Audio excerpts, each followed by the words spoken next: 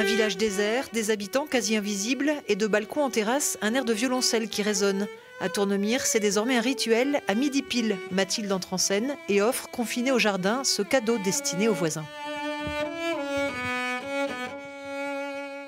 Je leur ai proposé euh, hier à midi de, jouer à ceux que je connaissais. Et puis petit à petit, ils m'ont dit euh, Tu pourrais pas me jouer ce thème-là Et puis moi, j'aimerais bien entendre ça, etc. Donc on s'est pris un petit rendez-vous euh, quotidien.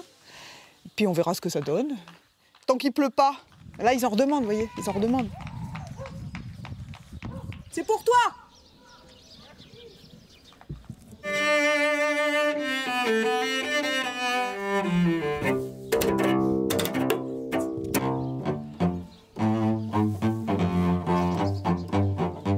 Dans le voisinage, la magie opère, instant d'apaisement précieux.